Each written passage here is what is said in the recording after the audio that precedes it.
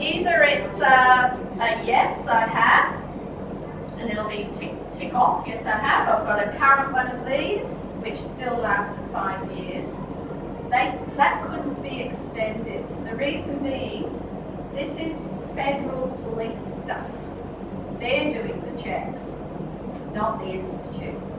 And their act, the Justice Act, said it lasts for five years, but no longer. So you've got to get a new one those to be up to date with it. So we'll tick off, yes, we've met that, yes, we've met that, yes, I've got a current one of those, and we will then be rolled into the annual. So every year, September, we'll be asked to pay, every year we'll be asked if we've met the renewal requirements of one year.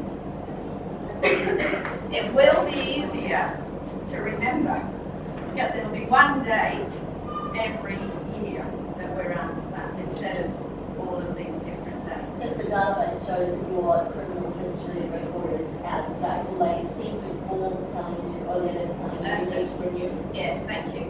So sometime this year, you will get a letter saying you need to have a new one of these because you're not going to be covered by it after the five years.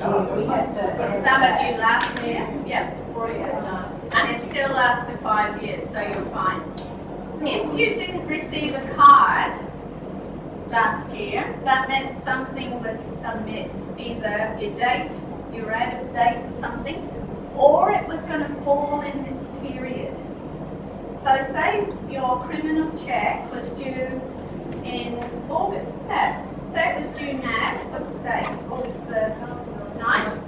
It was due August the 9th, 2012. That meant you would not be covered for the complete year by a criminal check, a working with children check.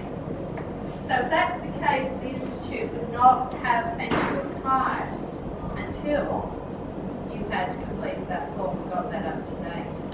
Even though it was only just due now, so that's been the sort of anomaly around then. You would have paid for it back then if you would have been invoiced for it. You would have been sent a letter about it saying you need to do this. So how long did you say the initial criminal records check last? Five years. Five years. Yes. And that is on your card, but on your card, yes, you have, Yeah. yeah, you've got that on the other, other side to the date, small font. July 2011. That's when you had the last one done, Five more years. well, four years from, Four years. five years from then, so four years from then, yep. Just a question, like the, the national criminal check and the working with children check, are they one and the same thing? Yeah. Is it going to come into just one thing? They are one, they are one. So the just, the Justice Act mm. organises the working with children. And be- when you have one of these done through the Institute, that covers you for the working with children through the Justice Yeah, because I Act. know when I was working with childcare, I had to work with children, my teacher registration didn't come. They, yes, that's right. Some organisations don't No, no, I organise had it. worked with- I mean, I was, yeah, I had worked with Yeah. Checo, but they wouldn't accept that as No, no, some organisations don't, but it is federal law is that it does cover. Yeah. So either either here you're saying yes, and then you're fine, or you're saying no here. You might it might be one part of this. It might be I haven't done enough teaching days, or I haven't got my PD up, which won't happen with this group. But one of those components, you, you, you're saying, well, I haven't met that requirement. If that's the case, if you're going no, there are some options here. You can let your registration expire. If you've got four years qualifications, you can do that.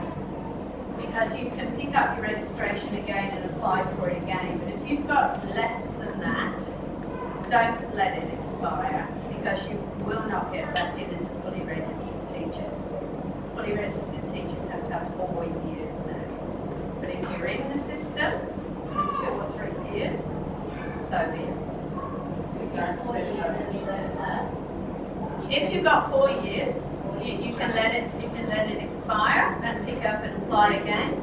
We can't teach, of course, with no registration. But um, the other option here is something called non-practicing registration, and it's a really good one to know about um, because it means it's a bit like parking your car in the garage.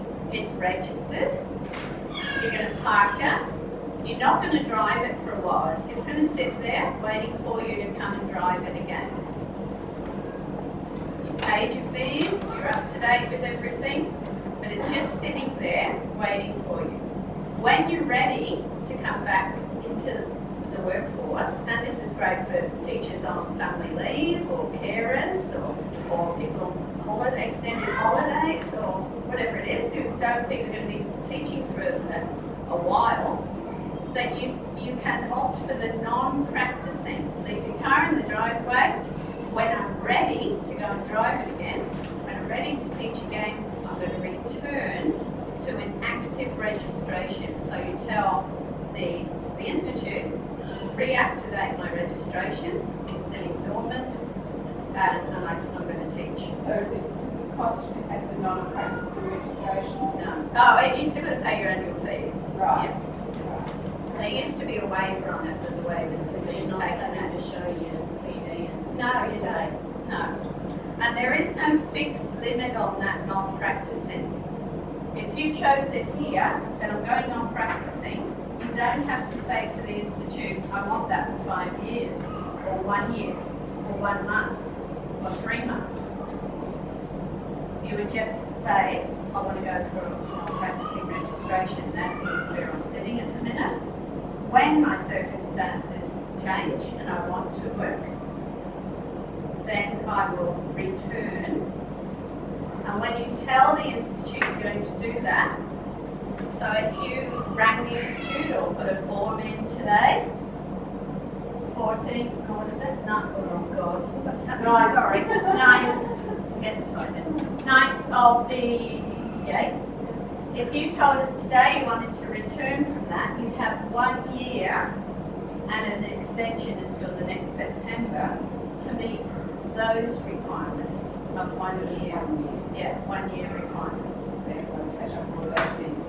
Yes. So again, if you told us today, Yeah. today, if we Yeah. to be non-practicing. Yeah.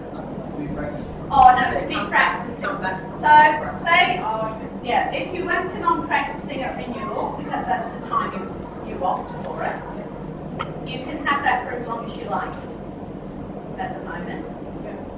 Then when you choose to return from that, it's called returning from non-practicing, logically.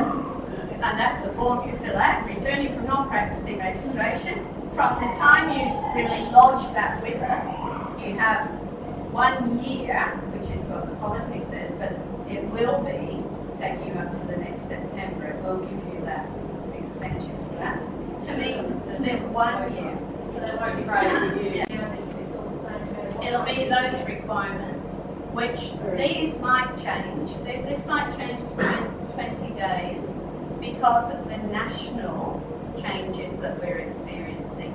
So if all states and territories have consistency with their registration, which we're trying to get, then it looks like that will move to 20 days of teaching. Is there any recognition of the fact that as CRTs we generally work or are able to work less days as full-time teachers? So why do we have to do the same amount of PD? I- I'm not, I don't have a problem with it from a professional point of view, but access to the PD that you can afford is extremely hard. Oh, no, I agree, I know where you're coming from, but from the Institute's point of view, that you're not second-class teachers, that everyone's registered at the same level. But on that point, PD can be just clarified or how much of it has to be face to face and how much of it has to be personal reading and reflection time. Question.